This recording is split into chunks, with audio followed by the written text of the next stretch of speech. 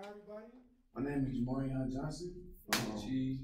or cheese, you know what I'm saying? um, today I'm gonna be talking to you all about gang violence and gang sign symbols and interpretations. Um, I'm from St. Louis, Missouri, and I grew up in the um, impoverished neighborhood on the south side of St. Louis.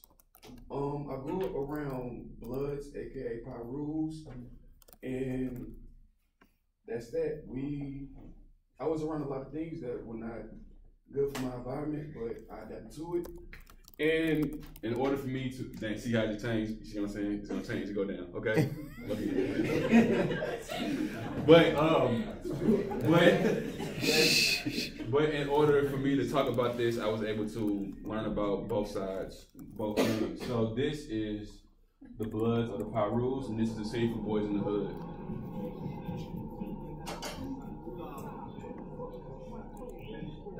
Hey man, what's wrong with you? Fuck you looking at, nigga? I'm still trying to find out, nigga. Oh, we got a problem here? We got a problem here? We got a problem here? Go away, nigga. Can we have one night when there ain't no fight, nobody get shot? Shut up, bitch.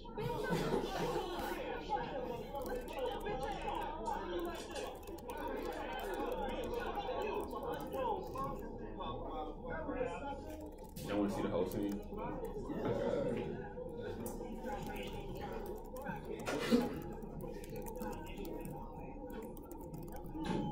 Parents always trying to start some shit. Nigga can't fight, so he always trying to find some excuse to shoot somebody. That's why fools be getting shot all the time. Trying show shut up. You be doing that shit too.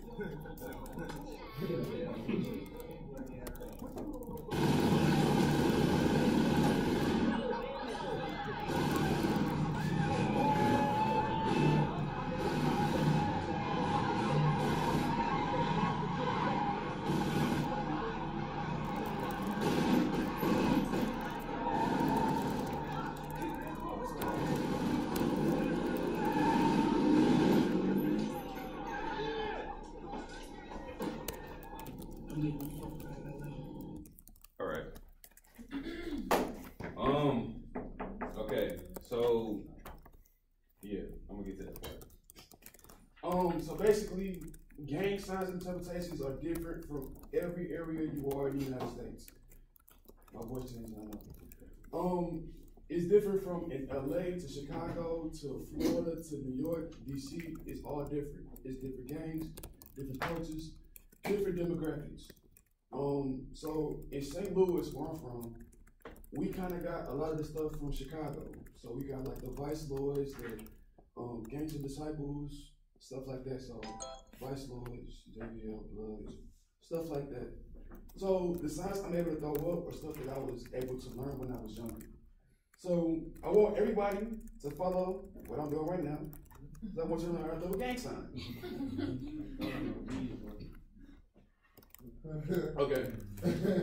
so I want you all to learn how to spell blood with your hand. Okay. So you gotta be right here. Follow me. Like what? They finger up right there. On spot two. You can throw your middle finger up to do PL. That'll be the B and the L. You follow it. So B, L, O right here. Right? And the O right here. Okay. And you have a D that spells blood. Right? Yeah. You got it? See? There you go. I follow. See, Okay, well, I feel you. It's, it's very hard to learn at first. I see you in the back. Yeah. It's very hard to learn at first, but after you get used to putting your fingers in certain positions to be able to understand it, then you be able to understand everything. But um, gang signs and interpretations and gang symbols such as bloods, bees, that down, throwing your rival gang symbol down, It's all just symbols in which represent your gang or your affiliation to a certain part of the city you're from. Um, Bloods wear red and they bang with Crips and they bang with Latin Kings all the time. Um, the neighborhood I grew up from, grew up in, was the Dorchester Projects. Um, we kind of took in like the jet head noise, cause the projects, the projects, like stuff like that. So jet head, no head, do your gang sign, whatever, wear your color, wear your rag. It is what it is. But it also it didn't start out like that. Just to let you all know. Um, in Chicago, uh, the Gangster Disciples and the Vice Lords were actually for civil rights leaders and movements that were in Chicago. But it branched out into different chains and under different commands, under different leadership after their leaders went to jail and were locked up for trying to do something different for the community. Um, the Gangster Disciples were started, um, I want to say the right person name, by Larry Hoover. Have anyone ever heard his name before in a rap song? Big Meech, Larry Hoover, put in the work, hallelujah. Who sing that song? Rick Ross. Rick Ross. Exactly. Now, I think I think Larry Hoover is doing like a life sentence right now. Yeah, yeah.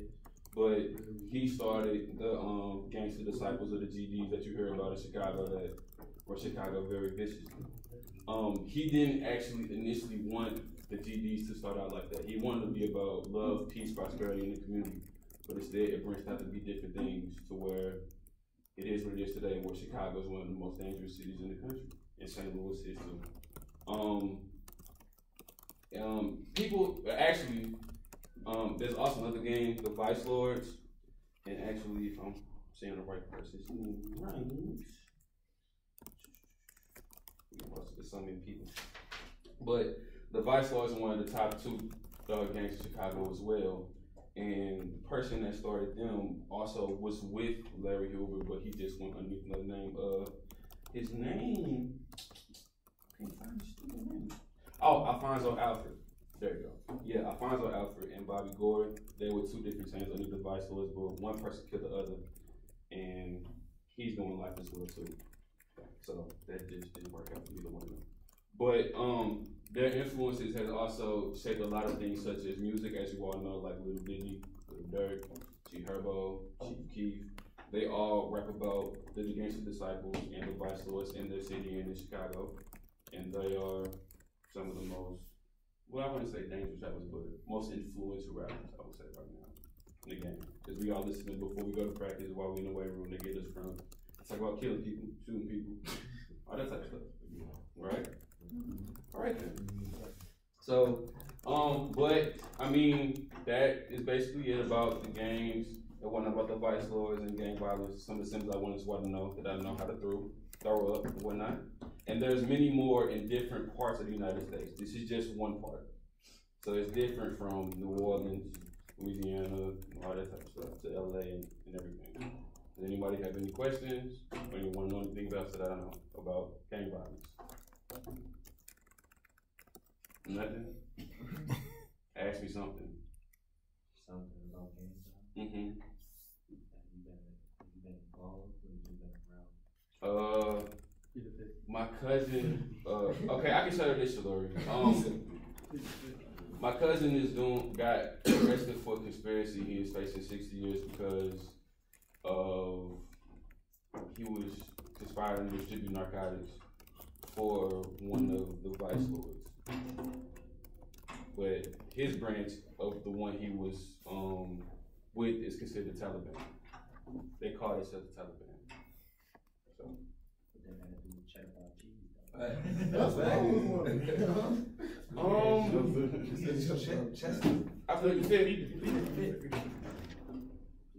Well, fine, I'm not answering.